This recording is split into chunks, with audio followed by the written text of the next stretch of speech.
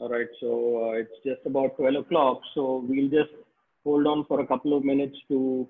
make sure that all the other people who are joining in are uh, connected and ready.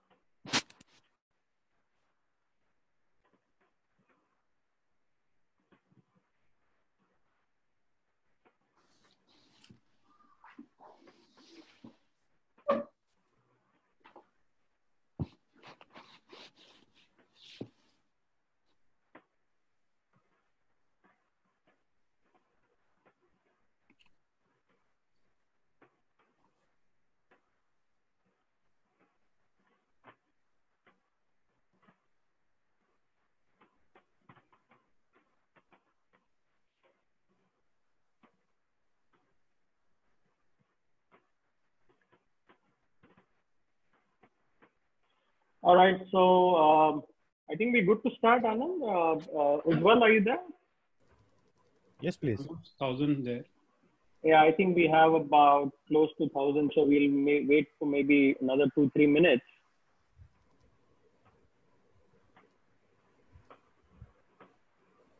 Yeah, sure. So a lot of participants are uh, already saying that uh, Hindi mein baat karna hai, so I agree so थोड़ा हम Hindi English दोनों में uh, साथ में बात करेंगे। So I don't worry about it वो दोनों लैंग्वेज में हम लोग कंबाइन करके बात करेंगे। उसमें कोई दिक्कत नहीं है।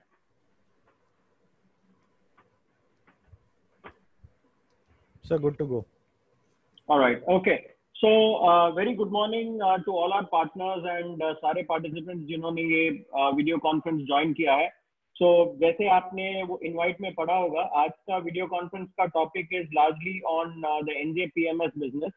so ये आज का webinar is going to be cohosted by two people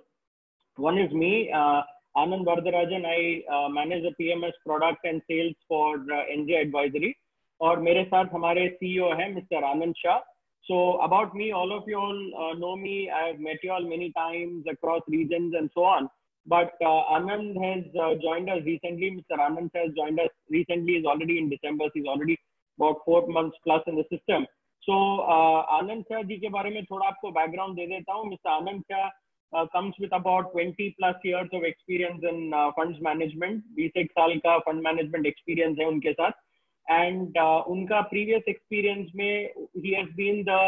CIO and head of equities for various uh, mutual fund fund management companies like Kotak Mahindra, uh, Canara Robeco, and unke last assignment mein he was the uh, deputy CEO and head of investments for BNP Paribas Mutual Fund.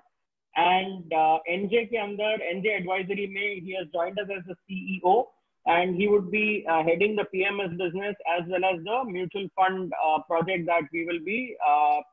we are, we like you all know, हमको in principle approval already मिल चुका है. So once we get the final approval of the license, so Anand will be managing that business as well. All right. So thank you very much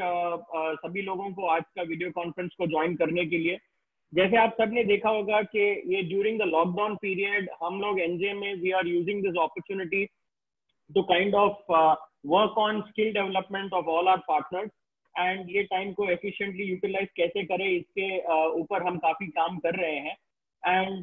It is quite encouraging to see the response that is coming in from all our partners. And uh, PMS जो business है portfolio management services ये आज का topic हम इसके ऊपर cover करने वाले हैं। सो so, आज के एजेंडा में जो टॉपिक्स है it's basically just about eight to nine topic जो हमने रखा हुआ है। It is going to the whole presentation will take about 40 to 45 minutes इसके बाद हम लोग शायद 15-20 मिनट या उसके ऊपर का हम क्वेश्चन एंड आंसर सेशन रखेंगे। सो so, जिसको भी during the course of the presentation जो भी सवाल आ रही है आपके मन में whatever question are coming to your mind please use the question and answer box and keep logging it in that during the course of the presentation we wouldn't be able to answer it because it will detail the course of the presentation so हम लोग उसको track करते रहेंगे। And presentation के end में once I have finish my briefing and Mr. Anand Shah has finished his briefing, we will definitely take all those questions and start answering them. All right. So आज का agenda के बारे में अगर आप बता दो आपको तो पहला एजेंडा अपना है to address the various myths that exist about PMS PMS के बारे में काफ़ी सारे वहम है पार्टनर्स में इन्वेस्टर्स में एंड uh, सारे कम्युनिटीज में कम्युनिटी में there is a lot of misunderstandings और मिथ्स अबाउट पीएमएस वो क्या है और उसको हम कैसे एड्रेस करेंगे वो टॉपिक हम पहले लेंगे सेकेंड टॉपिक हम एड्रेस करेंगे कि बहुत सारे पार्टनर्स का ये सवाल आता है कि म्यूचुअल फंड हम कर रहे हैं दूसरे एसेट क्लासेस हम कर रहे हैं तो पीएमएस हमको क्यों करना चाहिए? So this is a second topic that we will largely cover इसके बाद तीसरा टॉपिक um, uh, जो हम कवर करेंगे is the business timeline and the transition path of NJ so 2010 में जो हमारा पीएमएस शुरू हुआ उसके बाद हमारा पीएमएस बिज़नेस में और हमारा ट्रांजिशन बिज़नेस में ट्रांजिशन किस तरह से हुआ, बढ़ाव किस तरह से हुआ, उसके ऊपर हम थोड़ा डिस्कशन करेंगे। उसके बाद चौथा टॉपिक आएगा on the AUM growth NJ PMS में starting from the inception of the business to today how is the AUM of the business grown that is the topic that we will cover of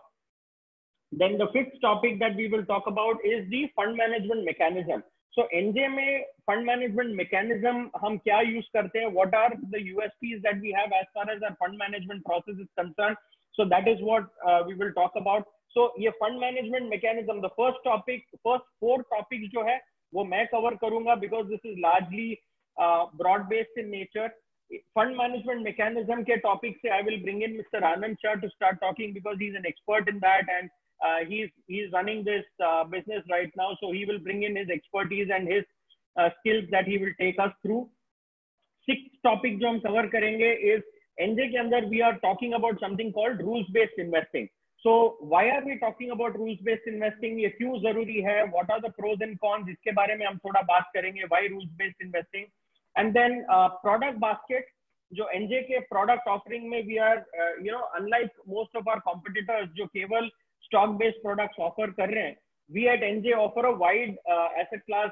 range of products so what are those various products that we talking about that will be the next topic that we talk about and then while we have multiple topics इस webinar में considering the paucity of time and considering that we want everybody to understand our product offering ये product offering को हम clearly आपको पहुँचा पाए और आप इसको सही तरीके से समझ पाए इसीलिए इस इस वेबिनार के अंदर we are only going to cover two of our product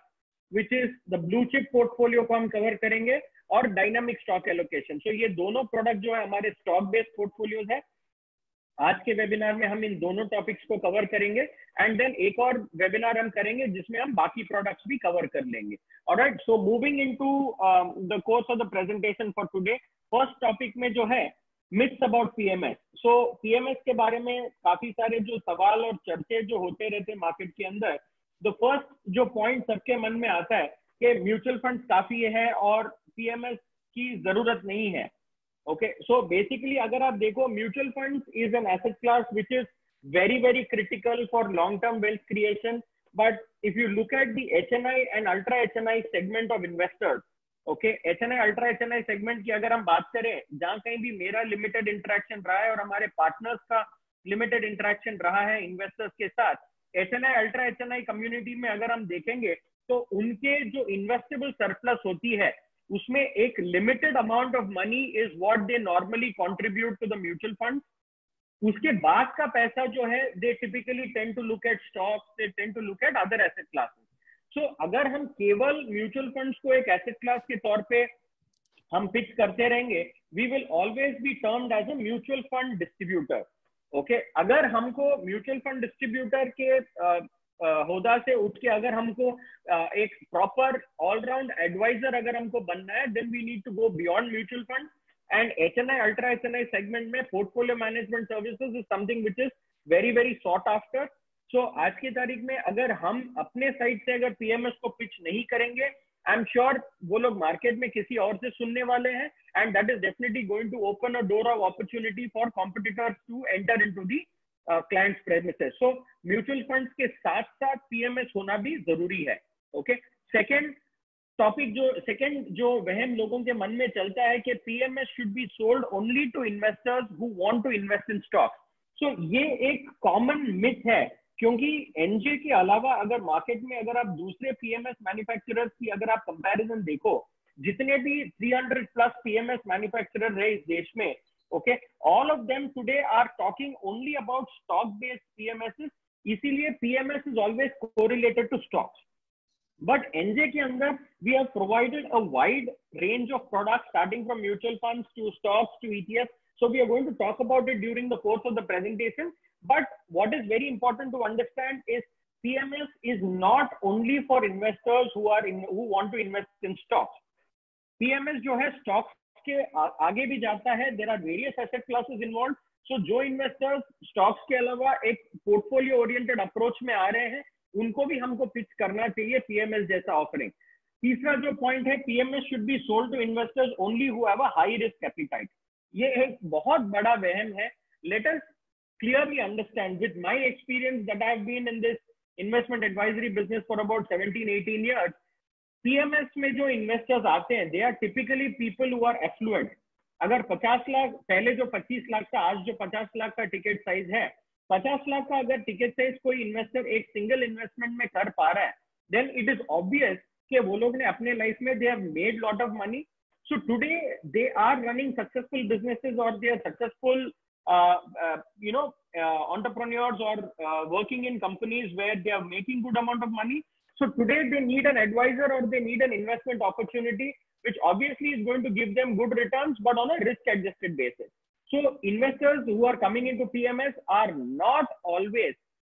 ये लोग हमेशा रिस्क ओरिएंटेड एपिटाइट से नहीं आते हैं ये लोग रिस्क एवर्स एपिटाइट भी देखते हैं Okay, so it is another myth which we need to eliminate from our mindset. Okay, next point is PMS can be sold only by advisors who have in-depth knowledge about stocks. okay? ये एक बहुत बड़ा जहाँ पे भी मैं आज की तारीख में देखता हूँ there are lot of partners who are sitting with lot of H N I ultra H N I client जब मैं उनके साथ बैठता हूँ डिस्कस करने के लिए कि सर आपके पास मैडम आपके पास काफ़ी सारे H N I ultra H N I client है लेकिन आप ये पीएमएस जैसा ऑफरिंग आप आपके इन्वेस्टर्स को क्यों नहीं प्रेजेंट कर रहे हो तो उनका एक पहला फीडबैक जो मेरे पास आता है कि सर पीएमएस की जब भी हम बात करते हैं तो इन्वेस्टर जो है वो लोग स्टॉक बेस्ड सवाल काफ़ी सारा पूछना चालू कर देते हैं। So we feel that we are not very very competent to answer do stock based question so इसीलिए हम लोग थोड़ा पीछे हट जाते हैं। सो so, ये आपके मन में मैं एकदम बहुत ही क्लियर कर दूँ okay be it you as advisors और we as an investment advisory team और we as a product team और एनी कोई भी इन्वेस्टर बैठ के इन्वेस्टेड यूनिवर्स में तीन चार हज़ार जो लिस्टेड स्टॉक्स है, उसके बारे में सभी को, सभी के पास कोई आंसर नहीं होगा। So what is important is to understand the portfolio that you are selling the strength of that portfolio and the methodology of investment you don't really need to know everything about all the stocks that an investor will ask you our our expertise use to talk about the investment management mechanism और and you as an advisor, you should be worried about how to control the emotions of an investor. यही है stocks के बारे में in depth knowledge होना बिल्कुल ज़रूरी नहीं है। Since I joined NJ in the last three years और मैं एंटायर करियर मैं जितने भी सेल्स कॉल्स में गया हूँ I have seen that investors have that inclination के स्टॉक्स के बारे में सवाल पूछे but we need to equip ourselves, we need to train ourselves to see how do we avoid answering those questions and how do we move them towards focusing on the investment methodology. Last point जो आज के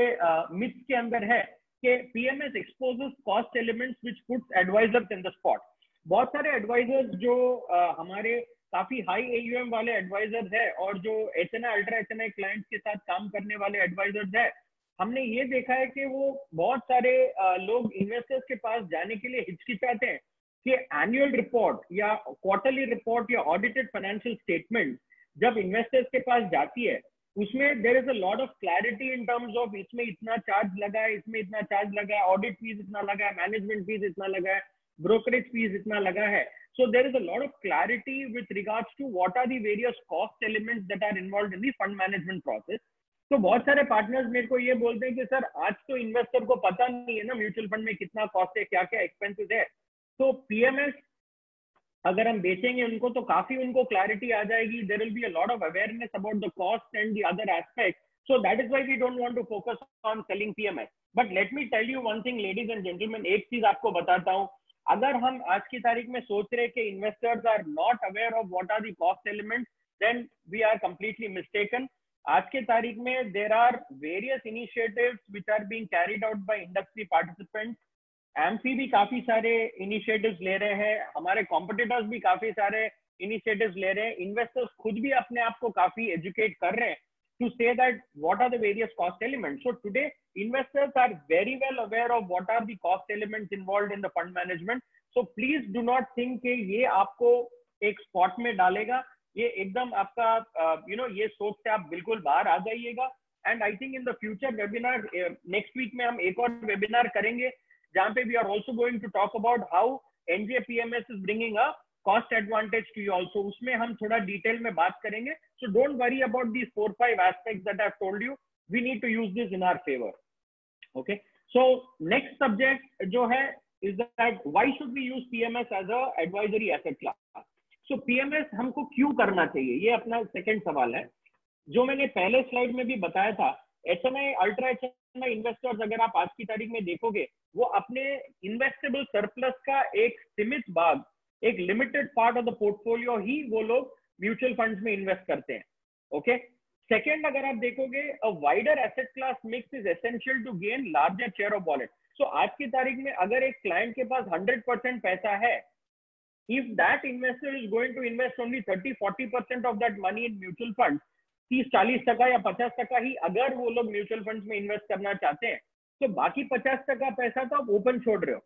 वो share of wallet आपको मिल नहीं रहा है आज की तारीख में। तो अगर वो शेयर ऑफ़ वॉलेट को भी अगर आपको कैप्चर करना है मैक्सिमम तरीके से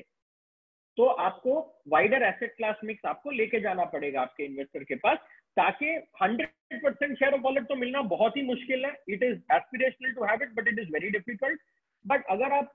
50, 60, 70, 80 परसेंट तक भी अगर आप जाना चाहो तो एक वाइडर एसेट क्लास मिक्स अगर आप लेके जाओगे then I think it's a good opportunity to get control over the clients wallet Next point is investors do invest a sizable part of their portfolio into stocks which are not efficiently managed. इसका मतलब क्या है? अगर हम as an advisor केवल mutual fund ही लेके जाते रहेंगे ऑब्वियसली उनको स्टॉक्स में और दूसरे एसेट क्लास में भी इन्वेस्ट करने की इच्छा होगी। सो so, अगर हम उस पे उस बेसिस पे अगर कोई प्रोडक्ट उनको ऑफ़र नहीं करेंगे then there is a probability कि वो लोग अपने आप से खुद इन्वेस्ट करना चाहे स्टॉक्स में एंड ऑब्वियसली वो लोग उसको मैनेज नहीं कर पाएँगे because of which they will end up making losses on their own portfolios which is only going to make sure that जो हमको एलोकेशन मिल सकता है फ्यूचर में, वो अननेसेसरीली डायरेक्ट स्टॉक्स में जा रहे हैं और इन्वेस्टर उसमें पैसा गवा रहे हैं।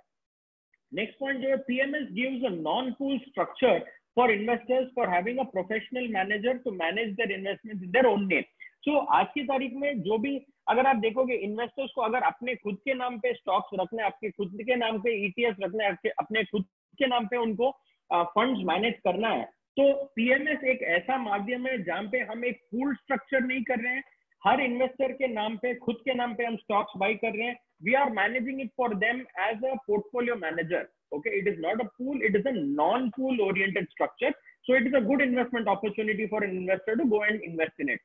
last point is this will help advisors gain larger aum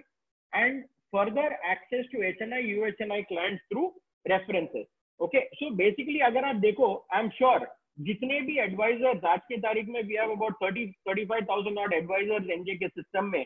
मेरा मानना यह है कि आई एम श्योर सभी लोगों का ये खाब है सभी लोगों का ये ड्रीम है कि हम सब सौ करोड़ के एयूएम के ऊपर पहुँच जाए as a first step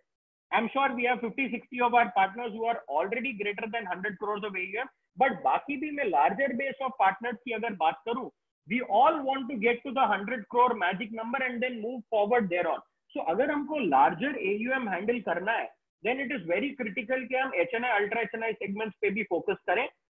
जो अगर हमको I ultra H N I segment oriented clients पे फोकस करना है then PMS जैसा offering is extremely critical to bring to the table. Yeah, so these are the reasons के क्यों PMS important है हमारे investors के लिए और आपके business के लिए, right? So बाद अगला टाइम अगला स्लाइड uh, में जाते हैं to tell you NJ PMS का हमने शुरुआत किया था 2010 में 2010 से लेके 2018 या आज की तारीख में जब हम 2020 में बैठे हुए हैं the business is gone through a wide transition July 2020 जो इन नेक्स्ट फ्यू मंथ्स जो जुलाई महीना आएगा 2020 में we are going to be completing 10 years of being in this business okay so we are not a green horn हम नए नहीं है ये बिज़नेस में. And as a team we have we are very very experience and we have been running this business for 10 years now so अगर हम देखें हमारे बिज़नेस में भी काफ़ी सारा ट्रांजिशन हुआ है 2010 से लेके आज तक. सो so, 2010 में अगर आप देखो जो आप मेरी स्क्रीन पे देख रहे हो 2010 में हमने म्यूचुअल फंड पीएमएस लॉन्च किया था, जब हमको पीएमएस लाइसेंस मिला था। उसके बाद 2014 में 2010 से 2014 तक हम लोग mutual fund oriented PMS product बेच रहे थे और मार्केट में काफ़ी सारा इन्वेस्टर्स का डिमांड आने लगा था कि हमको स्टॉक बेस्ड पीएमएस भी चाहिए। But because at that point in time हमारे पास स्टॉक सिलेक्शन और फंड मैनेजमेंट मैकेनिज्म का एक्सपर्टीज वो टाइम में अवेलेबल नहीं था So we did use the um, uh, uh, intellect, intellectual capability of couple of third party manufacturers. Motilal जैसे हमने काफ़ी सारे थर्ड पार्टी एडवाइजर्स का हमने इंटेलेक्चुअल कैपेबिलिटी यूज़ किया फंड मैनेजमेंट कैपेबिलिटी यूज़ किया और हमने एडवाइजरी पोर्टफोलियोज लॉन्च किया था 2014 में सो so, 2014 से 2017 तक we did um, we did manage our stock based portfolios through third party advisory 2017 अप्रैल में हमने अपना पहला stock based fund management stock based and in house fund management oriented product launch किया which was our multi cap so that was our first stock based product that we had launch उसके बाद 2018 में we had launch our second stock based product which was blue chip and उसके साथ हमने dynamic भी लॉन्च किया था। एंड उसके बाद हमने काफ़ी ईटीएफ ओरिएंटेड पोर्टफोलियोज भी लॉन्च किए। सो so, जैसे आप देख रहे हो 2010 से 2018 के पीरियड में as NJ we have moved NJ PMS, sorry, we have moved from being just a mutual fund PMS oriented advisor to being a full fledged and wide spectrum and wide asset class oriented portfolio manager. So in the last eight to nine years, we have seen a wide transition and we have a wide experience behind us. Also, our investment team has been enhanced with Mr. Anand Shah coming in and a long and a larger investment committee being in place. So we are right now on the spectrum, on the pedestal. हम उस मुकाम पे पहुँच चुके हैं कि we are going to take our business to the next level. So this brings me to the next slide कि 2010 से लेके 2020 अप्रैल तक एंड ऑफ़ लास्ट मंथ तक हमारा एयूएम में ग्रोथ कैसे हुआ है तो so, अगर आप देखोगे 2011 से लेके 2014 ओके जहाँ पे हम केवल mutual fund oriented products launch कर रहे थे sorry mutual fund PMS oriented products चला रहे थे and we had very few advisors who are participating in the business so first तीन चार साल में we we were able to raise about 113 odd crore सौ करोड़ के ऊपर हम पहुँच गए थे। बट जहाँ हमने स्टॉक बेस्ड पोर्टफोलियोज लॉन्च किया अप्रैल 2014 से जहाँ पे हमने स्टॉक बेस्ड पोर्टफोलियोज लॉन्च किया, उधर से अगर आप देखोगे 100 करोड़ से within two years period हमारा 220 करोड़ के यूएम पे आ गया था। Okay okay? और जैसे आप सबको मैंने प्रीवियस स्लाइड में बताया कि अप्रैल 2017 ओके okay, से हमने बेसिकली uh, दिसंबर 2017 से हमने रिसर्च किया था लेकिन अप्रैल से हमने ओन प्रोडक्ट लॉन्च किया। तो अगर आप देखोगे अप्रैल 2017 में हमारा एयूएम साढ़े चार सौ करोड़ पे पहुँच गया। एंड हमने ये देखा जहाँ पे हमने एनजे का खुद का प्रोडक्ट लॉन्च करना चालू किया हमारे पार्टनर्स के माइंड में कॉन्फिडेंस लेवल और कंफर्ट लेवल एक अलग लेवल पे चला गया था। Confidence level increase to an ultimate level because of which we saw that April 2017 से अप्रैल 2018 केवल एक साल में साढ़े चार सौ करोड़ से हमारा एयूएम 745 करोड़ पे पहुँच गया। उसके बाद अप्रैल 2018 में जो हमने तीन और नए प्रोडक्ट्स लॉन्च किए, उसमें 745 से अपने एयूएम 992 करोड़ पे पहुँच गया। एंड अगले ही साल में एंड ऑफ़ मार्च अगर मैं देखूँ our AUM has reached about 1069 crore but अगर आप देखोगे our highest AUM we touch about 1200 to 1250 crores also but end of uh, begin april 2020 because the markets have fallen the aum is right now standing at about 1069 crores so what we can very proudly say is industry में जो 300 साढ़े 300 uh, PMS manufacturers है इस देश में my understanding from the market is there are only about forty to forty five people जो सौ करोड़ के ऊपर के सॉरी हज़ार करोड़ के ऊपर के एयूएम वाले हैं and we are one of them so we are not a small player any more we have seen a good amount of transaction in our business in terms of product offering and हमारे AUM में भी काफ़ी consistent growth आया है. So we are right now at a greater than thousand crore marks so with support of partners and with support of all of you'll in the system ये हज़ार करोड़ का AUM we have to take it to the ten thousand crore so that is the mission that we are running with and we looking forward to your support and इसके लिए what are the products we have what is the mechanism we are following उसके बारे में हम थोड़ा आपको brief करेंगे। So in terms of next is the fund management mechanism so fund management mechanism के अंदर हम क्या करते हैं? Is at NJ we are following what is called as a rules based investment mechanism rules based investment mechanism हम लोग क्यों follow कर रहे हैं? Is because we believe that there is there are a lot of positive when you talk about rules based investment so rules based investment का why do we believe हम लोग मानते हैं कि rules based investment is the next big thing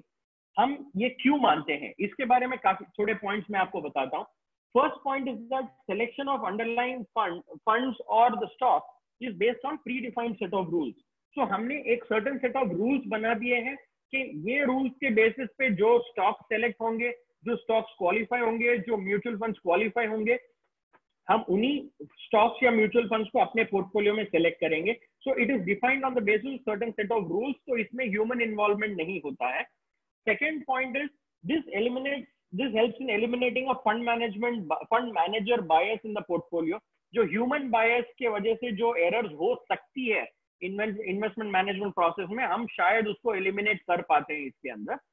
तीसरा point जो है portfolio remains true to label okay क्योंकि ये रूल्स बेस्ड इन्वेस्टमेंट मेथोडोलॉजी पे फोकस कर रहा है तो अगर हम एक लार्ज कैप स्ट्रेटेजी रन कर रहे हैं तो अंडरलाइन स्टॉक केवल लार्ज कैप ही हो सकती है। So these are basically true to label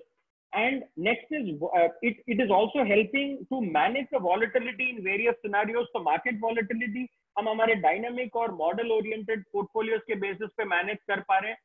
next is अगर आप लास्ट पॉइंट देखोगे रूल्स बेस्ड फंड या रूल्स बेस्ड इन्वेस्टमेंट मेथोडोलॉजी जो है globally it is gaining gaining a lot of traction globally क्योंकि active managers are not able to beat the benchmark is what is being visible as a global trend so ये trend हम किसके बारे में बात कर रहे हैं? What is the data we have to prove this so इसके बारे में मैं थोड़ा आपको डेटा पॉइंट्स बताना चाहता हूँ just Anand I just want to add I just wanted to add on the previous slide basically to just to add to what Anand is saying कि rule based investment में fund manager is involved at the time of forming the strategy एक rule based investment is nothing but एक एक और that I will explain in detail when we will discuss blue chip जब हम blue chip का discussion करेंगे तब हम और डिटेल में बात करेंगे but basically uh, rule based investment is where the fund manager is involved at the time of creation of model and then that model is allowed to run and the fund manager sort of watches whether the model is performing well or no. And that's what you will see when we'll discuss both the products. एक DSAP है एक blue chip है दोनों को हम discuss करेंगे at the later stage.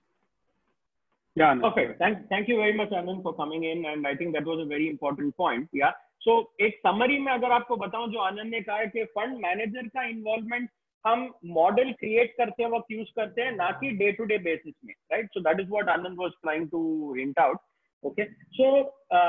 next point अगर हम देखें कि रूल्स बेस्ड इन्वेस्टमेंट हम क्यों यूज़ कर रहे हैं सो so, अगर आप देखोगे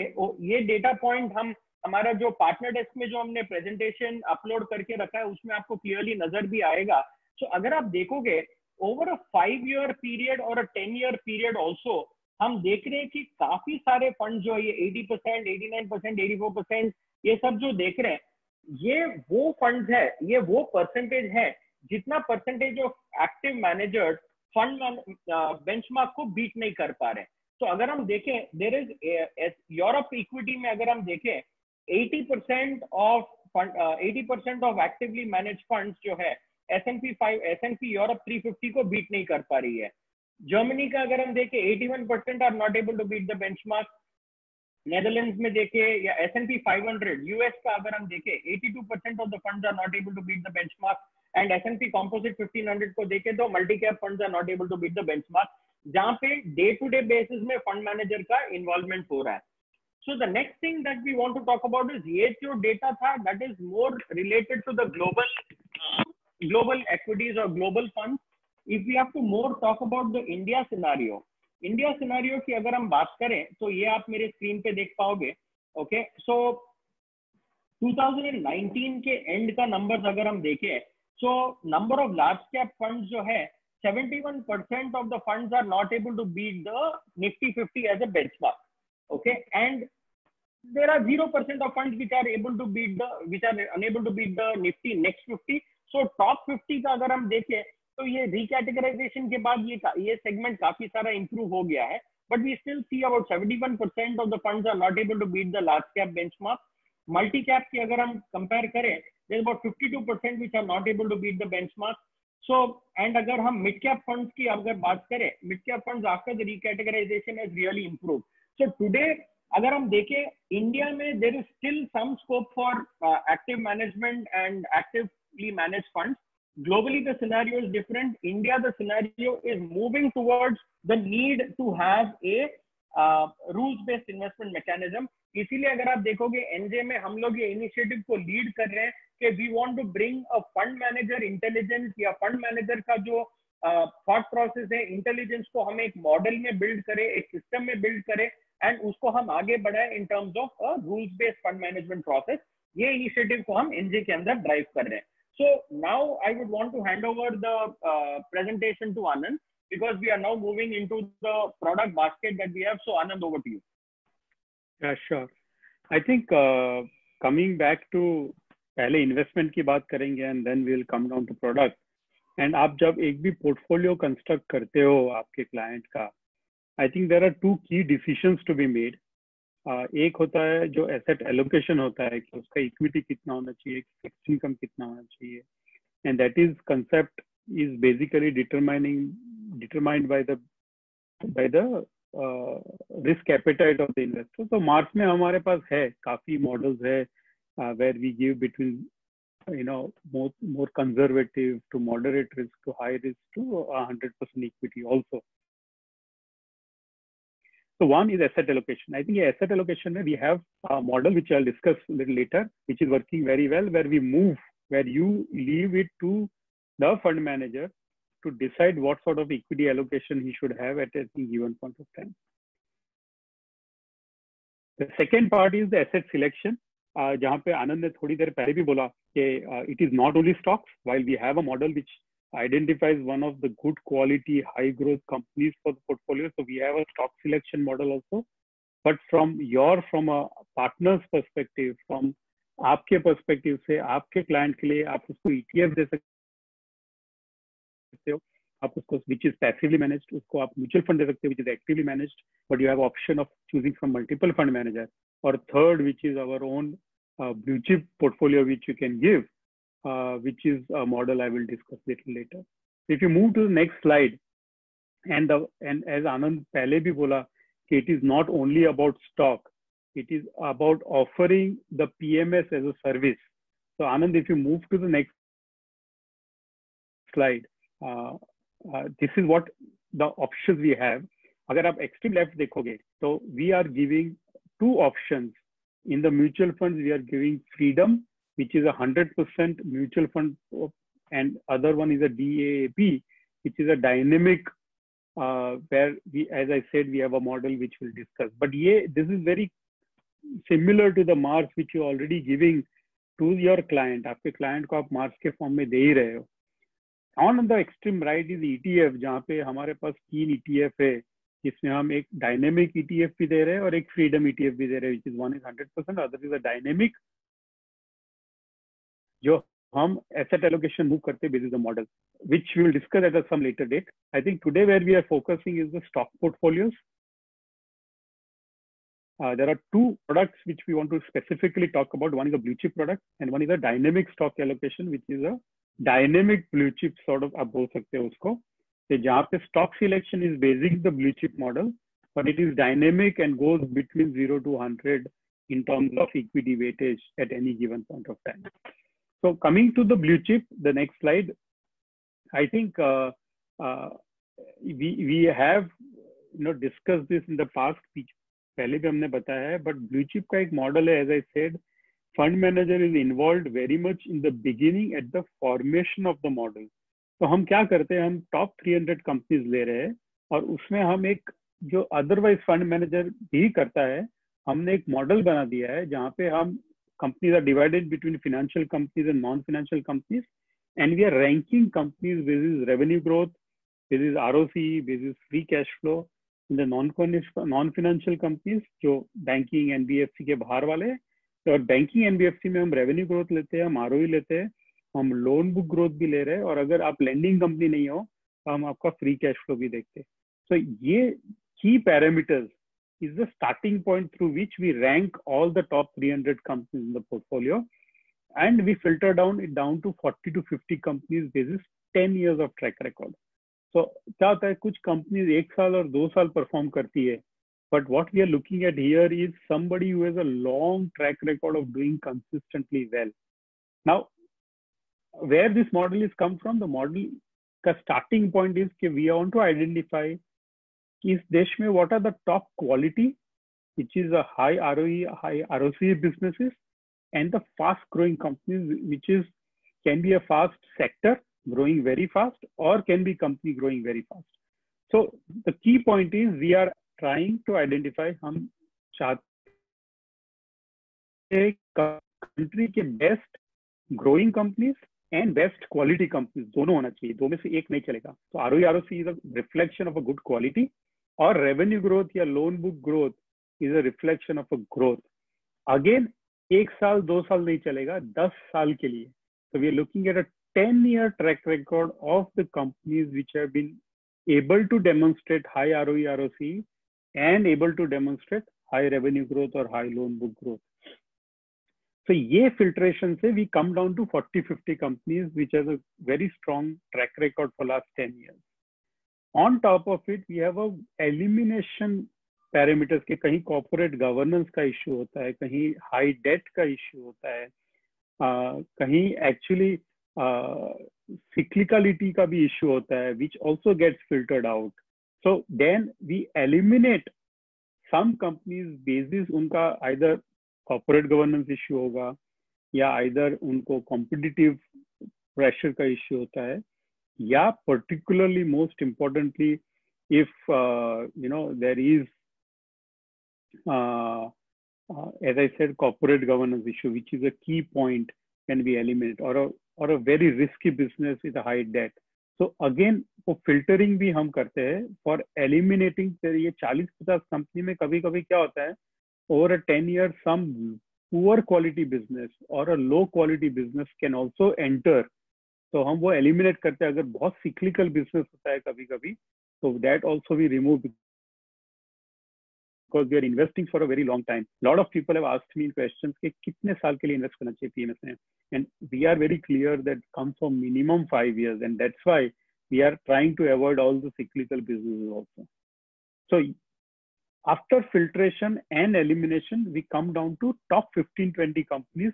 जितने भी फ़िल्टर के थ्रू जाते हैं। And we make a equal weighted portfolio to start with, and then एक model portfolio में अगर नया client अभी आ रहा है तो एग्जिस्टिंग मॉडल पोर्टफोलियो में उसका जो वेटेज है accordingly it gets rebalance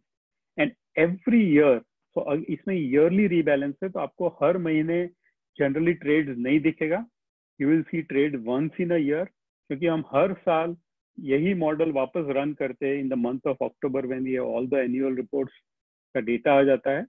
And we again see if two और three of those companies get out और टू और three new companies can enter into the portfolio So this is the blue chip strategy where bottom line है कि हम high quality high growth company पहले से identify करते हैं, फिर रोज रोज उसको छेड़ते नहीं है। Basically the whole idea of rule based investment is कि रोज रोज उसमें ट्रेडिंग नहीं होता है, रोज कुछ कंपनीज़ में चेंज नहीं होता है, कोई ज़रूरत नहीं है रोज आके उसमें ट्रेड करने का। तो आपको काफ़ी लो चर्न दिखेगा लो ट्रेडिंग वॉल्यूम्स दिखेगा but what is important is to give time to a good quality high growth companies and वही आप देखोगे जब ये performance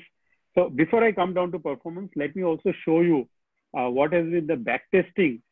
कि ये ये पोर्टफोलियो से हमने जब पिछले 15-18 साल में जब ये uh, बनाया है how is it perform so if you see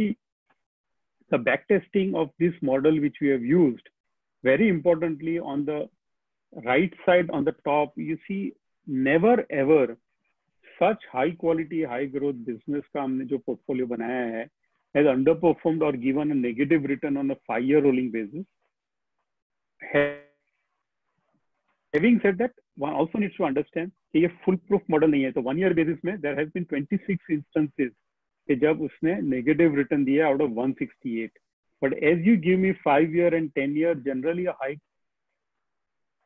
quality high growth business का जो हम फ़िल्टर करते हैं been able to consistently deliver good return average return of 18 percent but a minimum return of 3.79 percent compare to Nifty five hundred T R I which is two times negative return uh, and a minimum return of 1.23% on a five-year basis. More recently, ये crisis में जो COVID-19 का crisis है, how has this high quality and high growth business have performed? Very clearly, you can see it has significantly outperformed uh, the Nifty 500 TRI, I am made to understand that among the mutual funds comparable, ये सबसे best performing mutual fund भी कहा जा सकता है. It has outperformed every large cap mutual fund possible in the country. So if you see on a six month basis minus 12% versus 24%, on a 12 month basis minus 12% versus 26%, uh, three month basis minus 14% versus 28%, and one month में minus 15% versus 24%. So again repeat कर रहा हूँ I think a high quality high growth strategy जो generally is nothing but the best companies of the country we are trying to identify through models and then eliminating any cyclical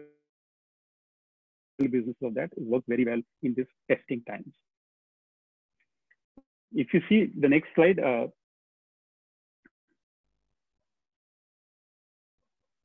Anand, next slide.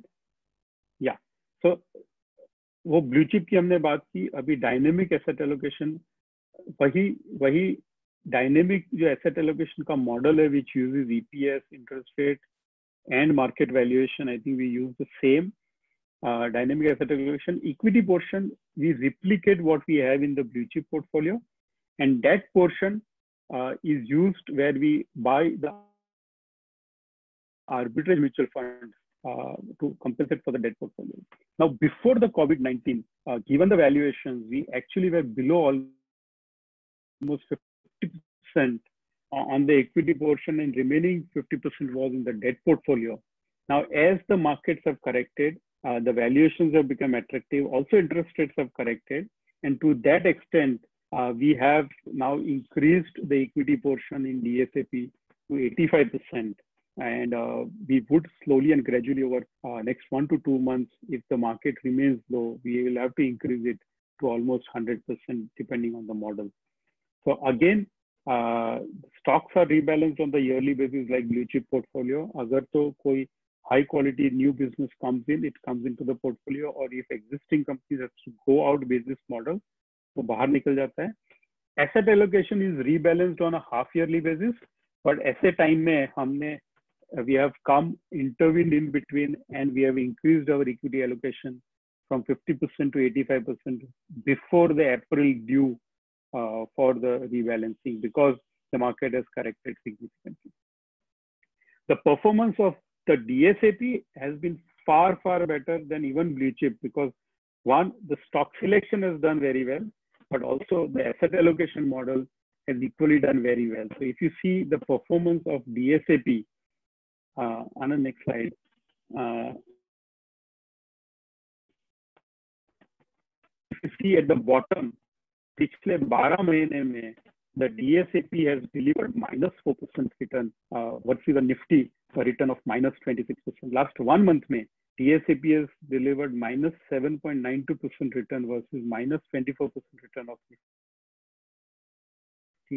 500 TRI. So here you get a benefit of both asset allocation as well as stock selection. क्योंकि blue chip has done very well and within that the asset allocation model has also done very well. आपको double फायदा हुआ and that's why you can see this will one of the very rare portfolios जो पिछले छह महीने में down five percent है और पिछले बारह महीने में डाउन फोर परसेंट है in calendar year 2020 so far it is down by only 6.89% versus minus 28% for Nifty 500 TRI. Again, if you see on a five-year rolling basis, the returns are very similar to the 100% blue chip, but the volatility is far lower the negative returns are not there uh, and the minimum return over a five year basis is 6.47% i think at some point of time uh, if people have questions we can take more questions on both blue and dsap दोनों पे और सवाल होंगे we will carry but i just wanted to introduce काफ़ी लोगों ने तो बेचा है आप लोगों ने डीएससीपी और ब्लू चिप तो उनको तो पता ही होगा they would be tracking it but जो लोग नहीं बेच रहे हैं, उनके लिए ये फ़र्स्ट राउंड ऑफ़ इंट्रोडक्शन है। आपके पास और सवाल होंगे, आप हमको पूछ सकते हो। आनंद वर्धराजन को डायरेक्टली फ़ोन कर सकते हो separately but I thought this is a good opportunity जहाँ पे हम आपको एक एक इंट्रोडक्शन दे दे कि पीएमएस में हमारे पास क्या क्या है वी हैव मार्स जैसा we have mutual fund PMS we have ETF PMS and we have a stock PMS which is both blue chip and ESAP. With that, uh, I will hand over it back to Anand for any any final comments, and then we will take questions if any. Yeah, thank you very much, Anand. I think uh, ये काफ़ी uh, you know one of the things जो हमने देखा है कि when when Anand came on board also uh, and जब उन्होंने भी ये मॉडल रिव्यू किया उन्होंने भी कहा कि ये काफ़ी फंडामेंटल ओरिएंटेड एंड काफ़ी स्ट्रॉन्ग मॉडल बनाया हुआ है सिस्टम के अंदर सो so, वी बिलीव कि ये मॉडल में there is lot of strength तो वाइल आनंद ने पूरा मॉडल के बारे में ब्रीफ कर दिया, दोनों प्रोडक्ट के बारे में ब्रीफ कर दिया, मैं जस्ट दो तीन पॉइंट ऐड करना चाहता हूँ। अगर हम ब्लू चिप के बारे में वापस बात करें तो ये एक बहुत ही फंडामेंटली स्ट्रॉन्ग पोर्टफोलियो है, जहाँ पे हम टॉप 300 कंपनीज़ से केवल 15 से 20 ऐसे कंपनीज़ हम ले रहे हैं, जो इन तीन तीन फंडामेंटल फैक्टर्स के ऊपर 10 इयर्स के ट्रैक रिकॉर्ड के बेसिस पे क्वालिफाई हो रही है। सो बेसिकली अगर देखा जाए तो we are not looking at companies which are just shooting to fame overnight और which are just coming to limelight overnight by some short term performance also we are looking at very strong fundamental parameters जैसे sales growth हमने देख लिया are ओई हमने देख लिया free cash flow देख लिया। ऐसे जो कंपनीज़ के स्ट्रेंथ को जो आइडेंटिफाई करती है, वैसे कंपनीज़ को हमने निकाला है। और जो कंपनीज़ 10 साल के ट्रैक रिकॉर्ड में क्वालिफाई हो रही है, हमने केवल उन्हीं कंपनीज़ को लिया है। So it is a very very fundamentally strong and growth oriented portfolio second ये जो परफॉर्मेंस के बारे में हमने बात किया, इसमें एक दो पॉइंट मैं ऐड करना चाहता हूँ। ओके इज़ दैट अगर आप ये, जहाँ पे मेरा कर्सर है, उधर अगर आप देखोगे okay so number of observation with negative return अगर फाइव ईयर रोलिंग रिटर्न की अगर हम बात करें ओके okay, टिपिकली मेरे जो पहला पीएमएस के बारे में वहम के बारे में जो मैंने स्लाइड बताया था उसमें मैंने आपको बताया था कि काफ़ी सारे लोगों को लगता है कि पीएमएस जो है हाई रिस्क एपिटाइट और हाई रिस्क ओरिएंटेड इन्वेस्टर्स के लिए ही है ओके okay? तो मैं आपको एक बहुत इंपॉर्टेंट पॉइंट इधर बताना चाहता हूँ is that if you look at this row which is called number of observations with negative returns की अगर हम बात करें इधर आपको ज़ीरो वाला नंबर नज़र आ रहा है एंड वही अगर आप निफ्टी 500 में देखो, इधर there are two two portfolios with negative return so what it means is that हमारे बैक टेस्टेड डेटा के हिसाब से, हमारे सिमुलेटेड डेटा के हिसाब से अगर हम देखें, कोई भी इन्वेस्टर अगर any portfolio which has continued to stay invested for a five year period has not seen a negative return. So what does that mean? उसका मतलब ये नहीं है कि इन्वेस्टर कभी भी नेगेटिव रिटर्न नहीं देखेंगे। तो अगर कोई इन्वेस्टर एक साल के लिए ही आएँगे तो 26 बार नेगेटिव रिटर्न देख सकते हैं। कोई अगर तीन साल के लिए ही आ रहेंगे, आएँगे तो तीन बार नेगेटिव रिटर्न देख सकते हैं। और अगर कोई पाँच साल बैठ के जाता है इस पोर्टफोलियो के अंदर then the possibility of seeing negative returns almost comes to zero as per our previous data okay वही अगर if you compare it with Nifty 500 then it is a quite an attractive performance second चीज़ अगर मैं बताऊँ least return अगर market बहुत bad performance देता है और सबसे घटिया रिटर्न कितना बनता है इस पोर्टफोलियो में, अगर हम देखें then it is 3.79 percent CAGR where the Nifty 500 is delivered negative 1.23 तीसरा चीज़ जो है एवरेज रिटर्न की अगर हम बात करें तो ये टोटल 120 पोर्टफोलियोज जो फाइव ईयर पोर्टफोलियोज बनती है, ये 120 पोर्टफोलियो के अंदर, we have seen that the average return which has been delivered is about 18.43 percent जहाँ पे मार्केट में 11.6 percent five year rolling return बना है। सो so, ये जो आप रिटर्न इधर देख रहे हो आपके स्क्रीन पे ये जो हम बैक टेस्टेड रिज़ल्ट आपको बता रहे हैं ये सब जो आप देख रहे हो this is after fees and expenses मतलब मैनेजमेंट फ़ीस ब्रोकरेज फ़ीस जितने भी एक्सपेंसेस हैं वो सारे एक्सपेंसेस निकालने के बाद इन्वेस्टर को इतना रिटर्न छूटा है राइट सो एंड ये हमने एक एक्टिव अभी एक्चुअल रिज़ल्ट भी आपको बताया है, जो आनंद ने आपको ब्रीफ किया। सिमिलरली अगर आप डायनेमिक स्टॉक एलोकेशन पोर्टफोलियो भी देखोगे the return of dynamic stock allocation portfolio में five sorry hundred percent equity में फाइव ईयर रोलिंग रिटर्न जो है एवरेज 18.43 परसेंट सीएजीआर बनता है। बट डायनेमिक स्टॉक एलोकेशन में बनता है 18.22 परसेंट सो केवल 20 बेसिस पॉइंट्स का डिफरेंस है रिटर्न में। बट अगर आप इक्विटी डेट का, अगर आप डिफरेंस देखोगे blue chip portfolio hundred percent equity और dynamic is about you know 55 to 60 percent equity so जैसे आनंद ने बताया with a much lower volatility we are able to deliver a superlative performance और performance comparable to hundred percent equity हमने एक और भी analysis बना के दिया हुआ है, हमारे सेल्स टीम के पास है और काफ़ी सारे पार्टनर्स आप हमारे सेल्स टीम से बात करके ले भी सकते हो। जहाँ पे हम मानते हैं कि लोगों का मानना है कि stock portfolios are very very risky हमने एक कंपैरेटिव रिपोर्ट भी दिया है कि टॉप क्वार्टाइल म्यूचुअल फंड्स के सामने अपने ब्लू चिप पोर्टफोलियो ने कैसा परफॉर्म किया है, वो भी एक रिपोर्ट हमने पब्लिश किया है। Again the idea of publishing that report ये नहीं है कि PMS is better than mutual fund that is not the story let us be very clear about it वो रिपोर्ट हमने इसलिए पब्लिश किया है to say that blue chip as a portfolio has been delivering efficient returns with comparatively lower risk or manageable risk. So these are the points that I typically wanted to add. And again, as a summary, मैं ये बताना चाहता हूँ कि हमारे पास unlike our competitors, industry में जो भी हमारे PMS में competitors है, जो केवल stock based portfolios बेच रहे हैं, उनके सामने we are able to provide a wider spectrum of products, wider array of products, starting from mutual funds to stocks to ETFs. And इसमें भी हम दो variety offer कर रहे हैं, which is 100% equity, and second is dynamic asset allocation. So first difference is the NJ partner. It is a big difference for the investor. Second, 100% stock oriented portfolios के सामने हम तीन अलग asset class oriented products दे रहे हैं, which is a big differentiator. तीसरा differentiator जो है डायनेमिक एसेट एलोकेशन जो हम एनजे में कर रहे हैं, पूरे इंडस्ट्री में I have not seen anybody doing dynamic asset allocation like what we are doing so these are a couple of competitive advantages that we are having in the system so we believe that ये competitive advantage को आप use करो go to investors and start speaking about it and the opportunity is wide open for us in the market place right so these are the point that I wanted to bring as a summary and जैसे आनंद ने कहा कि हमारे ETFs oriented products and couple of other topics which we wanted to cover off ये हम एक और webinar में कवर करेंगे we are going to come up with another session so उस सेशन में we will cover off our ETF products mutual fund PMS हमने इस सेशन में कवर नहीं किया क्योंकि मिसबा भाई और विरल ने देव and and covered the the mutual fund PMS in the form of MARS yesterday तो कल आपने जो वेबिनार में मार्च के बारे में सुना सुना होगा that is an exact replica of our mutual fund PMS so we are not going to really uh, focus on that piece today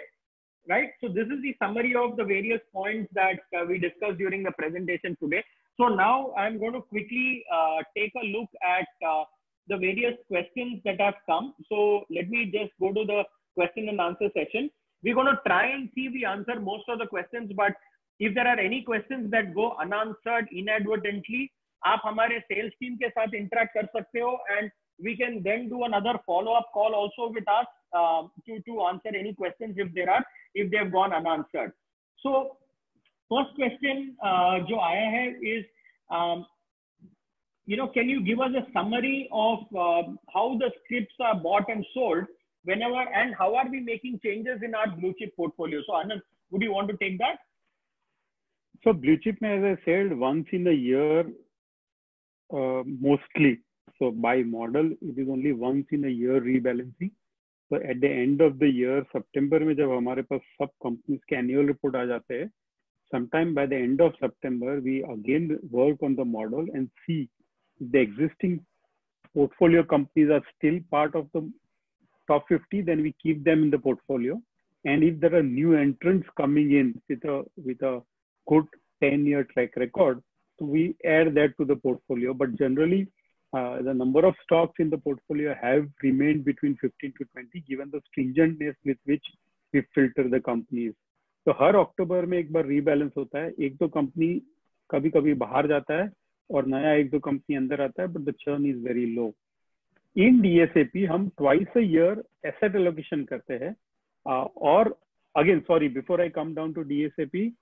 blue chip में भी अगर इन बिटवीन द ईयर अगर कोई इवेंट होता है विच मेक्स अस बिलीव कि नहीं, ये company need not be part of the portfolio then we intervene in between and also make that correction in between if required DSAP में twice year rebalancing होता है asset allocation rebalancing होता है. Stock once year होता है, जो October में होता है, जो ब्लू चिप के साथ डीएसएपी में भी होता है.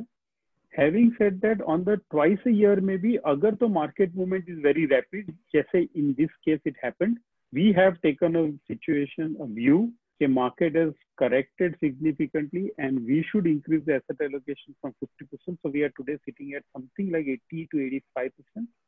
and april mein jab actual rebalance aayega we will take the stock of the situation if required we'll go to 100% if market is much higher then we might not need to go to 100% but that is the call we'll take in the mid april when the asset allocation rebalancing is due.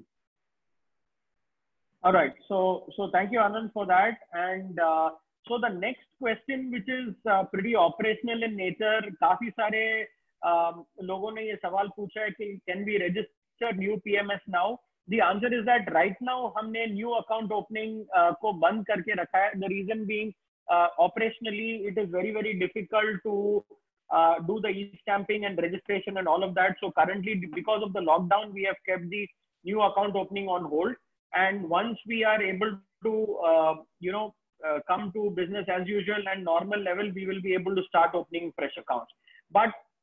having said that काफ़ी सारे investors already हमारे पास invested है तो उनको, जैसे आपने देखा है ब्लू चिप में और डीएसएपी में काफ़ी सिग्निफिकेंट आउट परफॉर्मेंस आया है मार्केट के ऊपर. So we believe that it is a very very good opportunity to word and top up the existing investment so जहाँ कहीं भी आपको लगता है कि एग्जिस्टिंग इन्वेस्टर्स के पास आप जाके टॉप अप ला सकते हो दो kind of cases we are willing to accept the top up request by email and the amount can be remitted by means of NEFT or RTGS also. So that is a facility which is available. Next point is um, uh, somebody is asking about uh, the five-year return uh, you know, which I think we've already answered. So um, the next question that I want to ask uh, that I, that is coming up, which has come up multiple times, is why have we not covered the uh, multi-cap portfolio? Okay, so uh, one of the basic reasons why we've not covered the multi-cap portfolio is because um, the multi-cap portfolio currently अभी fresh investors के लिए ये available नहीं है subscription के लिए जो भी existing investors है वो लोग top up कर सकते हैं एंड एग्जिस्टिंग इन्वेस्टर्स के लिए अवेलेबल नहीं है तो इसीलिए हमने मल्टी कैप को इस सेशन में कवर नहीं किया है और काफ़ी सारे लोगों का सवाल ये भी आ रहा है कि मल्टी कैप में काफ़ी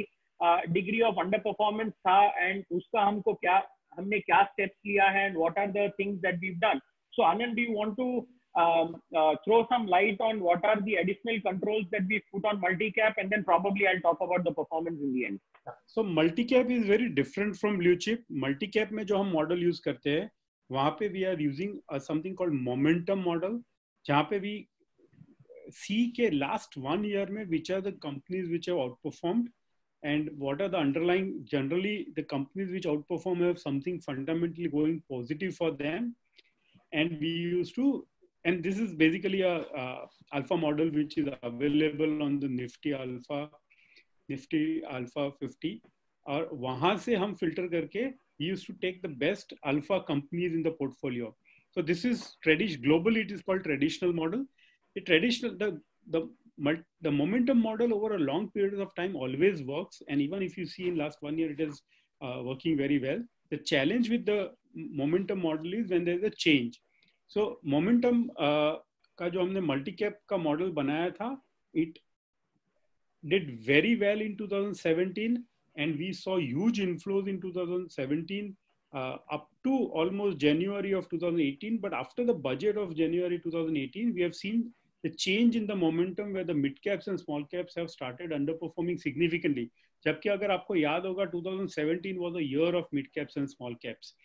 So what we did is we have now introduced a lot of checks and balances. The most important of them is uh, the volatility. So now instead of looking at only alpha, we are also looking at a volatility. And so that uh, one, the quality of the companies which come into the portfolio increases. Second, what we are doing in blue chip, we also introduce here, which is the sanity check on the corporate governance, on the debt equity ratio. Basically, the risks we are eliminating. So while the momentum or the alpha identifies good performing businesses or good performing stocks, we are also trying to eliminate what can go wrong or what can reverse uh, after one year of good performance. So both introducing volatility model into the model and doing a basic elimination basis corporate governance or debt equity, I think we have been able to fix the multi-cap portfolio also. It has started outperforming very well in last one year. I think we will continue to improve that model and at some point of time, it might be made available back for the fresh investments. But as Anand said, for the time being, we are just taking the top ups the existing investors can take. We are confident that the, the new model with the more risk management, even the previous model also had a good backtesting, it would have continued to perform well. But we thought that it is very volatile and our investors are conservative. We as a group is also very conservative. We wanted to reduce the risks in the portfolio and that's why we introduced this volatility as a new element and also elimination basis corporate governance and debt equity. I think we are good to go i think the existing portfolio is doing very well we'll continue to make the model more robust at some point of time it will be coming back uh, but I, I don't have a timelines as we make the model more robust right so thank you very much Anand और जैसे आनंद ने कहा है कि while the model was was you know chasing returns and momentum oriented इसमें हमने काफी qualitative parameters भी ऐड करी है after which if you see typically like Anand ने सही सही तरीके से कहा 2018-19 में हमने काफ़ी अंडर परफॉर्मेंस देखा इस पोर्टफोलियो के अंदर। So what I will do is जितने भी पार्टनर्स को multi cap specific performance related जो क्वेरीज है I would be more than happy that आप आपके ब्रांच मैनेजर को uh, बताना कि you want to do a separate call with me I am happy to discuss that क्योंकि हमने एक एनालिसिस बनाया है where we are able to show that despite the kind of underperformance that multi-cap has delivered in the initial period, when an investor stays, जब कोई investor पाँच साल के period पे बैठ के जाता है then there is a desirable amount of return which gets generated okay ये हमने एक ट्रेंड बहुत क्लियरली देखा 2019 सेकेंड हाफ़ और 2020 के स्टार्टिंग में भी 2019 मिड के बाद और अगर अभी तक भी अगर आप देखोगे मल्टी कैप का performance it is outperforming Nifty 500 by a good margin so हमने ये देखा है कि by the additional fundamental parameters and control filters जो हमने ऐड किया है the performance of the multi cap portfolio also come back significantly well and I am more than happy to work with the limited set of partners जिनको अभी भी question है multi cap के ऊपर I am more than happy to do a separate call with all of you so that's on the multi cap piece next is एक uh, एक common सवाल जो मेरे को नज़र आ रहा है amongst the questions that have come is that what is the difference between PMS and MARS okay so MARS की अगर हम बात करें MARS is basically a mutual fund oriented portfolio जहाँ पे एक नहीं दो नहीं हमारे पास तेरह चौदह अलग अलग पोर्टफोलियोज अवेलेबल है depending upon the investor's risk appetite, depending upon the uh, uh, period of holding, we are giving a model portfolio. So Mars is specifically restricted to only mutual funds. whereas PMS में we are giving a wider basket of products starting from mutual funds to stocks to ETF. अभी अगर आपका specific सवाल है कि what is the difference between mutual fund PMS and Mars? Okay, Mars में we are investing in the regular plan. Minimum investment ticket size is only one lakh rupees. And every time there is a rebalance, investor को authorize करना पड़ेगा rebalance को. But अगर हम mutual fund PMS की बात करें अंडरलाइन स्कीम्स हो या जो भी हो, वो एकदम कॉमन हो जाती है। बट अगर हम इन टर्म्स ऑफ़ मैकेनिज्म देखें minimum investment ticket size 50 lakh रुपए हो जाता है।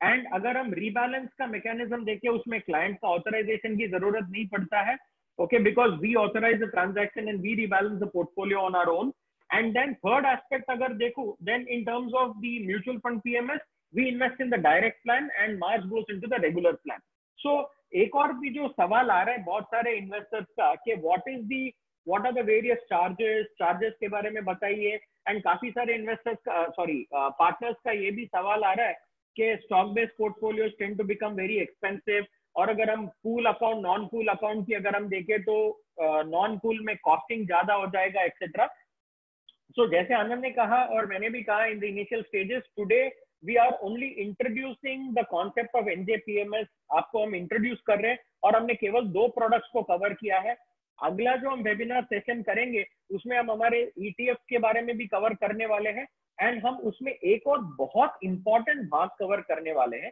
जिधर हम बता रहे हैं कि PMS as a product is not very very expensive and कैसे एज एन एनजे पार्टनर आप एनजेपीएमएस को एक वैल्यू एडवांटेज या एक कॉस्ट एडवांटेज या एक सर्विस एडवांटेज के तौर पे आप इन्वेस्टर्स के पास कैसे लेके जा सकते हो, ये हम अगले सेशन में कवर करने वाले हैं। So please look out for that announcement and please to attend that एक और सवाल आया है कि मोतीलाल ओसवाल का जो पोर्टफोलियो है, उसको हमको शिफ्ट करना है। Otherwise there will be a which will be done on fifteen April so ये जो पॉइंट है because of the lockdown we have taken a bit of an extension in the timeline but otherwise switching जो है switching आप uh, हमने email के ऊपर भी एक्सेप्ट करना चालू कर दिया है। So there is a deadline and ये डेडलाइन हमारे तरफ़ से नहीं आ रहा है। This is something which is been advise by SEBI कि थर्ड पार्टी एडवाइजरी पोर्टफोलियोज को हम मेंटेन नहीं कर सकते हैं। So that is the reason why we are advising to move those portfolios to NJ advisory oriented portfolios okay and again if we talk about एक और जो सवाल आ रहा है again a big question Anand I think I will give my shade to it, but I think you should also uh, give your view, which is important. A lot of uh, partners have been asking a question: okay, Are the returns in mutual funds better or the returns in PMS better? So, what is your take on it? Before I give my comments, I think I would be glad if you give your take on it. I think the point to be noted here is that uh, mutual fund जब आप mutual fund में invest करते हो so there is people who invest 500 rupees also. There are people who invest 5 lakh rupees also. There are people who invest 50 lakh rupees also. And frankly speaking, from a mutual fund fund manager perspective, he has to make sure that the portfolio is built basis the risk appetite of somebody even doing 500 rupee SIP. PMS is a vehicle for people who wants to take more risk or want to have a more concentrated portfolio compared to a mutual fund. तो आप mutual fund देखोगे generally it's a very diversified portfolio it is more hugging to the benchmark benchmark से काफ़ी नज़दीक नज़दीक होता है क्योंकि इन्वेस्टर का risk appetite the least risk appetite investor के accordingly generally mutual fund invest होता है। हालाँकि कुछ लोग जो 10, 15, 20 साल से इन्वेस्ट कर रहे हैं इक्विटी में जिनके पास रिस्क एपेटाइट है उनको समझ में आता है कि मुझे पता है that a certain portfolio can be more volatile but मुझे पता है कि over time it will deliver superior return to give you an example of a blue chip blue chip में क्या होता है मैंने थोड़ा बताना रह गया है but when you look at high quality high growth businesses it invariably might have little high valuation also now काफ़ी लोग को लगता है कि हाई पी कंपनीज़ रिस्की होता है. Actually as it turns out that these are the businesses which have outperformed over last 10 years. So a lot of people who believe can I we want to buy good quality business, good growth business, hundred percent of the portfolio क्योंकि most of the mutual fund में भी sixty seventy percent of the portfolio can भी good quality high growth business but उसमें फिर cyclical business भी होता है। It can have value stocks also low growing business also but if an investor से मुझे हंड्रेड परसेंट यही चाहिए and this is a window और this is the platform on which he can have a hundred percent of this portfolio in high growth high quality high quality high growth businesses So what PMS is, to come back to your question, PMS is actually giving a narrower part of the market, पूरा diversified, जिसमें ONGC भी हो, जिसमें Coal India भी होगा जिसमें NTPC power grid जो you know cyclical businesses है वो भी उसमें होंगे और ग्रोथ uh, बिज़नेस भी होंगे। The blue chip is a pure hundred percent high quality high growth business ये to that extent the performance can be different from benchmark but informed investor जो मार्केट देख चुका है जिसको समझ में आता है जिसको लगता है कि हाई ग्रोथ हाई क्वालिटी भले ही थोड़े महँगे हो बट मुझे ये अच्छे लगते हैं मुझे पता है over five ten year period they do well we can offer him in PMS. And to that extent, there's no comparison. PMS is more narrower uh, part of the market, more concentrated portfolio, which eventually should do better than mutual fund. नहीं तो कोई मतलब नहीं है PMS करने का. So PMS over a long periods of time does better than the mutual fund, but is also more volatile than mutual fund. I think that is what needs to be understood. Yeah, Thank you very much, Anand, for that point. And uh, I'm seeing a lot of questions uh, which people are bringing up with regard to specific stocks.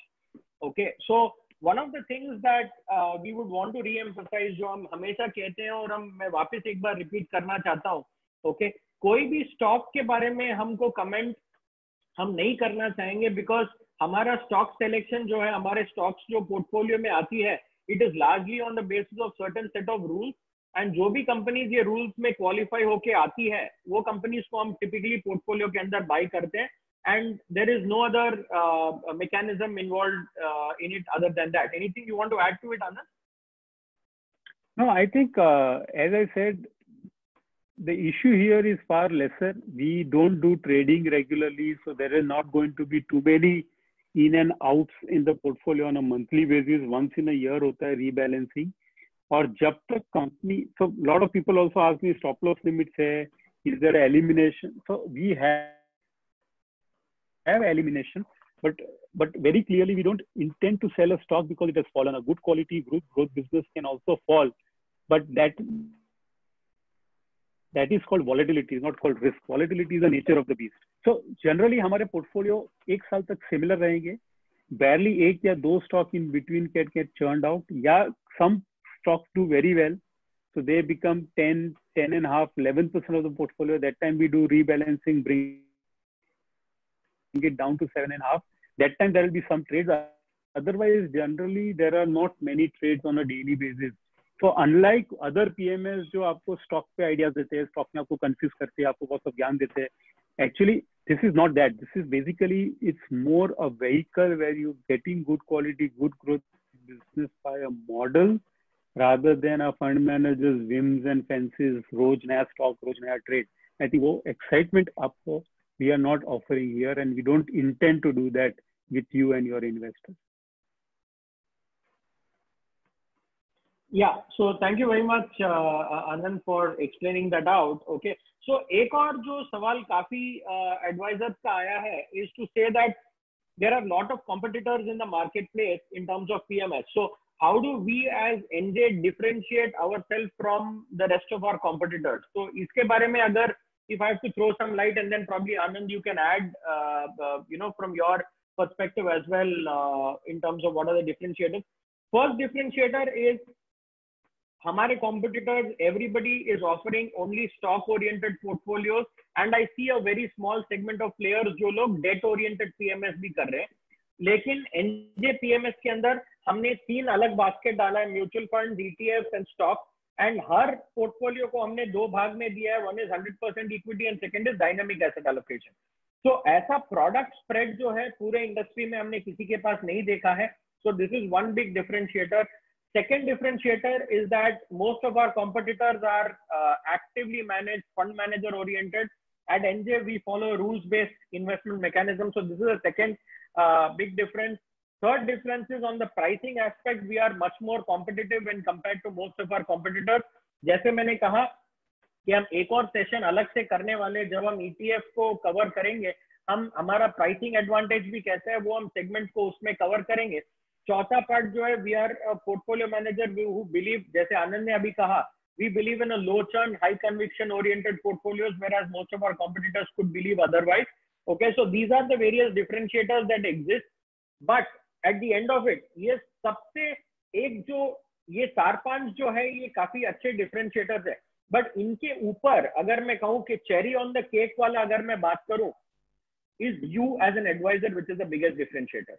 okay आज की तारीख में मोतीलाल हो या IFL हो या जितने भी पी पीएमएस ओके वो नाम लिखा है तो मैं नाम पढ़ रहा हूँ otherwise there are lot of people in the market if you see ये सारे प्रोडक्ट जो है it is sold by third party advisor जो आज बेचते हैं, कल चेंज कर देते हैं और एडवाइजर कल इन्वेस्टर को छोड़ देता है।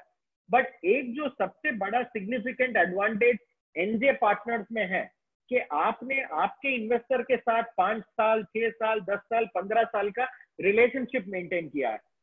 So you are the biggest differentiator when compare to the product so advisor plays a very important role, second comes the product. So we believe that you are the biggest differentiator the product is just a support to you right? Anand anything you want to add to it?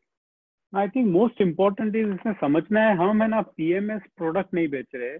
हम PMS service बेच रहे हैं। In the sense कि आज आप पचास लाख रुपया लेके आ रहे हो कंपलसरी नहीं है कि पूरा का पूरा ब्लू चिप पे डालना है या पूरा का पूरा डीएसएपी में डालना है या सिर्फ़ स्टॉक्स में ही डालना है। आप वो पचास लाख को तोड़ के कुछ उसको पच्चीस लाख ईटीएफ e में डाल दीजिए। कुछ पच्चीस लाख स्टॉक में डाल दीजिए। तो you are giving him his 50 lakhs also to that extent can be diversified. Or he can put 50 lakhs into a DSAP जहाँ पे 50 परसेंट इक्विटी है 50 परसेंट डेट है। फिर अगर मार्केट गिर गया like this time we become 85 percent equity फिर market rallies back अगर मार्केट वापस ऊपर जाता है, हम वापस 50 परसेंट इक्विटी में आ जाएँगे 50 परसेंट डेट में आ जाएँगे। It's a one stop solution so, the idea is not to give or sell a product to him we are selling a solution to him where he is saying nahi out of 50 lakhs or out of 1 crore that i'm giving you put 50 lakhs in a blue chip put 50 lakhs in a D, DT, uh, DT uh, dynamic ETF product और नहीं उसमें से 25 lakh ETF में डाल दो 25 लाख आप mutual fund में कर दो so this are the various options which are available which is not what is been traditionally done so here it is more of a service कि आप एक ही 50 लाख और एक ही 75 लाख या एक करोड़ के टिकट में आप उसको म्यूचुअल फंड ईटीएफ स्टॉक्स और within that dynamic asset allocation सब कुछ ऑफ़र कर सकते हो। आप एक बार हमारा प्रोडक्ट समझोगे then you can explain that to very clearly Perfect. So uh, that's that's a very important point, and I think um, एक और सवाल काफ़ी लोग ने पूछा है okay? This this uh, question is expected. by uh, you know considering that uh, Anand comes with about 18 20 years plus uh, of experience in the market so Anand a lot of people want to hear from you on uh, what is your view on the market considering the way the uh, markets are performing right now. Okay, so uh, before Anand uh, answers this question, एक मैं आप सबको बताना चाहता हूँ कि we are doing a separate webinar in the next few days where uh, Anand will be talking about the various aspects of the market for about uh, it will be a separate one hour session so वो हम अलग से cover करेंगे but Anand if you want to uh, give some small inputs which will lead into your larger webinar where people can participate and hear more. If there's something that you want to give as a small snippet right now, which will lead into the larger webinar. Sure, I think first and foremost ये समझना जरूरी है कि India is not in an economic crisis yet. Neither, even from when you see the rest of the world, we are not in a health crisis yet also.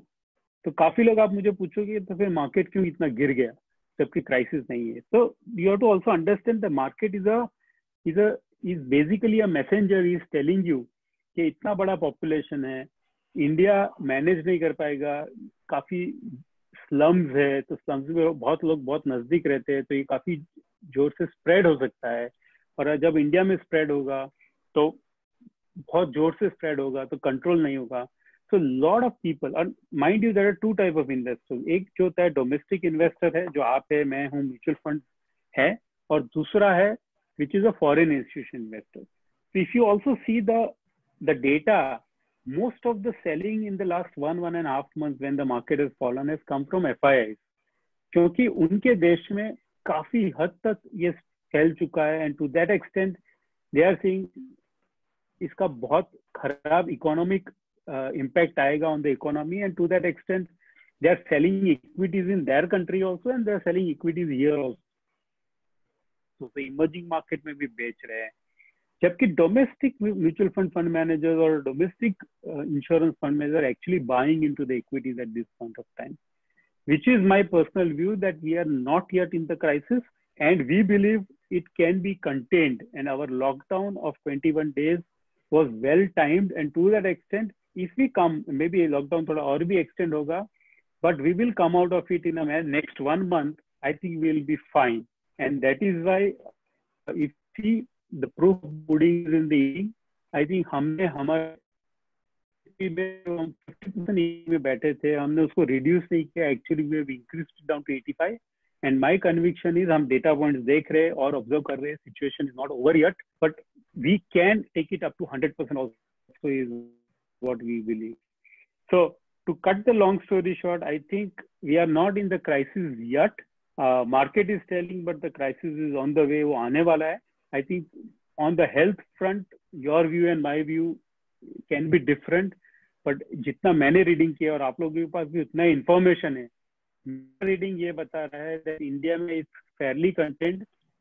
And uh, it will not blow out of proportion as we have seen in Italy or Spain or US. And to that extent, it will not such a big auto economic crisis. To follow up, there is very clearly RBI and monetary policy di, US Fed ne monetary stimulus di. So monetary stimulus is already on the way. Fiscal stimulus bhi. So I think government and central banks are also going to spend to counter any effect of the 21-day lockdown uh, and the mass movement of people uh, which will lead to a short term disruption in the economy.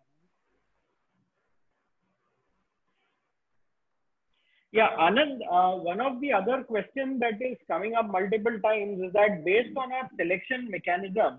okay, there could be a possibility that uh, there are companies which are at high valuation and, uh, you know, probably more sought after. So what's your view on that? Yeah, so जब भी valuation काफी ऊपर हो जाता है, automatically that also makes that our stock weightage goes up to 10%. So we have done it twice or thrice in last three months when we have reduced the stock weightage from 10% down to 7%. Uh, so there is a mechanism within the model itself that when the valuations become very rich and the stock portfolio weightage goes up significantly, we have an automatic profit booking mechanism. but otherwise uh, my 19 years 20 years of experience tells me that the valuations have never been a problem for a good company good quality good growth company continue to perform well it may lead कि एक साल या एक छह महीने के लिए वो स्टॉक परफॉर्म नहीं करता है बट अ गुड क्वालिटी वाला और गुड ग्रोथ वाला company over a five year rolling ten year rolling always delivered good return so बीच बीच में अगर वैल्यूएशन महँगा भी हो गया तो if the fundamentals are in place we really don't get out of the stock we keep it हो सकता है वो छह महीने के लिए परफॉर्म ना करे एक साल के लिए परफॉर्म ना करे बट फिर वापस पांच साल के लिए परफॉर्म करेगा and that's why the 15 20 stock portfolio is good enough और वो आपको रिटर्न्स में भी दिख रहा है So Anand, uh, couple of uh, again, one of the questions that's coming up is um, if there is any, if we are sitting, let's say the blue chip portfolio, if we are, there's a question which has come up from one of our partners, is that if we are sitting on a 100% equity portfolio and uh, if and the market is continuously falling, what is the call we are going to take? Question number one. Question number two, if there is a particular stock which is losing value continuously for any specific reason, what is the call we are going to take? Can you repeat it? So two questions. One is if somebody is invested in a blue chip portfolio which is 100% equity, and if the market is continuously falling, what are we as a portfolio manager going to do? That's question number one. Question number two, forget about the broad market if there is a specific stock which is getting impacted and it is falling continuously, what is the call we are going to take on that? So I think this is where the rule-based investing really comes in. Uh, human tendency of greed and fear will make sure कि जब आपका portfolio गिर रहा है तो आप डर जाओगे या पैनिक करके actually you start selling and that is what the rule based investing avoid and it make sure that we remain true to our strategy हमने जब इन्वेस्ट किया था, हमने पाँच साल सोच के इन्वेस्ट किया था, हमने good quality good growth company लेके इन्वेस्ट किया था। और कभी कभी ऐसे इवेंट्स आ जाते हैं, जैसे covid nineteen is one of them जहाँ पे हमको लगता है कि नहीं अभी पूरा world is going to come to an end and you know this situation is going to get worse and to that extent we start selling and next thing happens that some fiscal stimulus news comes in and the market starts moving up and then you keep on watching and you miss out on the entire correction so blue chip may i think we will keep on an eye on the fundamentals i don't think any of our parameters keep an eye on And if the parameters were to change or the corporate governance issue needs to change, we will intervene. But otherwise, not because the stock price is falling, we will intervene either be it on the entire portfolio is concerned or individual stock is concerned. Having said that, हमने पिछले छह महीने में we have intervene like Yes Bank का case हो गया जहाँ पे जेन्यून फंडामेंटल चेंज हुआ है जहाँ पे जेन्यून कॉर्पोरेट गवर्नेंस इश्यूज़ है विच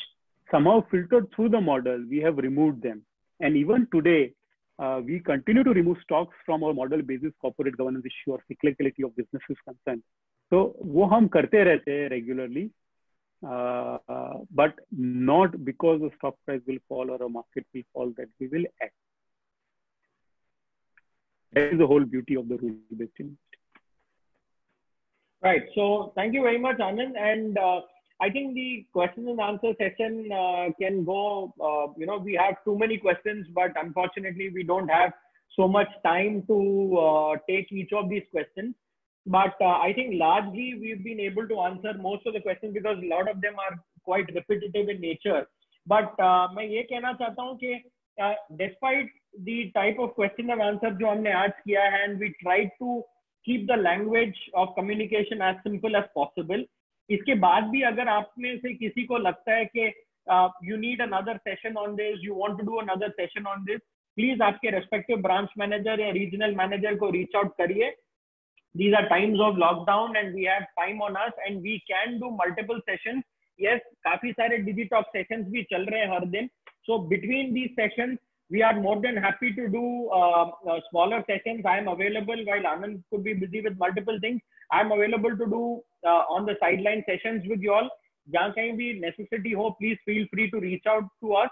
and the presentation that we are showcasing and all of these product are available on the partner desk and wherever you have any question like I said we are going to do two three more session on the P M S business in the days to come अगर आपके सवाल इसमें answer नहीं हो पाए I am sure that in the next two three session that we are going to do उसमें सारे address uh, हो जाएँगे। Okay, so thank you very much, uh, everyone, for having participated, and we spent more than uh, more than an hour and a half on this session, and I think the uh, energy level and motivation level uh, from your side has got transmitted to us, and we are very excited to keep coming back to you with a lot of uh, information packs and presentations. So thank you very much from your from my side, and Anand, anything you want to add as a parting note from your side? I think thank you very much. Uh, it was a long session, but thank you very much for coming in so many numbers. Uh, we continue to remain, you know, committed to deliver the best value to our investors. I think both Blue Chip and D, DSAP uh, performance is there for you to see. We'll continue to do well. Please feel free to get uh, in touch with Anand Vardarajan or me as required. And thank you very much once again for coming in so many large numbers for this call. Thank you very much. Thank you very much. Bye bye.